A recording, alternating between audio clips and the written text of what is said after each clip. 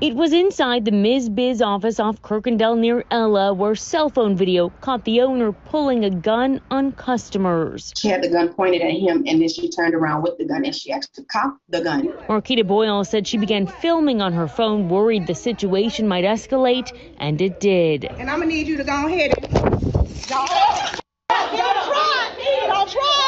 Police were called and the owner, Latanya Wright, was arrested at her business. Boyle says she used the office to file her taxes and was there to clear up wrong information she says they gave to the IRS.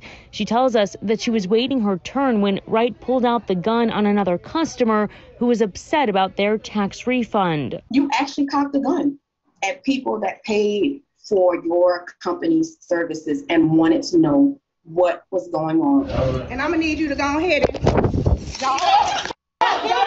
Boyle tells us the owner got her phone and deleted this video, but she was able to retrieve it for police. My vision is blurry and my left eye is still blurry. Um, I have the headaches. I'm my anxiety is through the roof. Tonight, Latanya Wright is behind bars charged with aggravated robbery and aggravated assault.